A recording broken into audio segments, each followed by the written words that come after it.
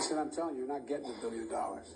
I said, you're not getting the billion. I'm going to be leaving here. And I think it was, what, six hours? I looked, I said, I'm leaving in six hours. If the prosecutor's not fired, you're not getting the money. Oh, son of a bitch. So this is just a reminder to President Biden at one time, uh, Ukraine needed some money from us to defend themselves. I mean, they still do.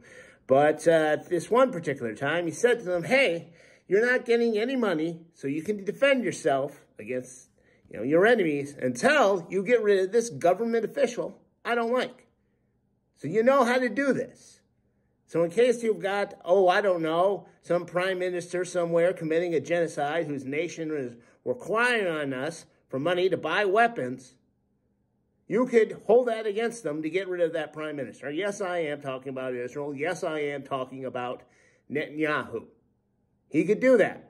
He could say, we're not giving you any more money and weapons until Netanyahu and his cronies, they're all gone. Get rid of that right-wing government. Or we're not going to give you any money to defend yourself because your right-wing government under Netanyahu is committing the genocide. So if you want to defend yourself, Israel, you got to get rid of them. You could do that, President Biden. You've done it before, so why not do it again?